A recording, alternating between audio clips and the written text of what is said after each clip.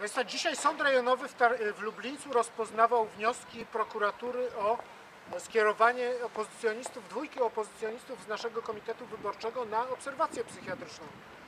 No w moim przekonaniu to budzi się taka wątpliwość co do e, rzeczywistych intencji prokuratury związanych z kierowaniem ludzi, e, swoich przeciwników, e, swoich otwartych krytyków na obserwację psychiatryczną.